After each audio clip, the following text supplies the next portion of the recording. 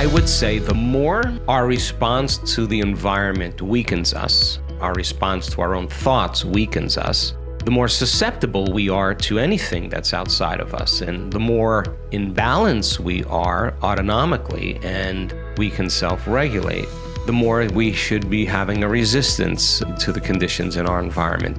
We have frequencies that are unavoidable now. We have TV waves, radio waves, microwaves, Wi Fi signals, cell signals. We've got a lot of frequencies on the low band that we're swimming in on some level. And the long term effects of, say, holding a cell phone to your ear, taking a transistor and amplifying a signal next to your brain, which is 78% water, could produce some changes in biological tissue.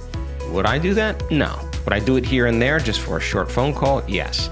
By the same means, if your brain is already incoherent because you're overstimulated by the hormones of stress and you're not in your heart or your heart's incoherent and it doesn't produce a field, then you're disconnected from energy and you're more susceptible to stressors in your life. And there's physical, chemical, and emotional stressors, but there's also frequency stressors.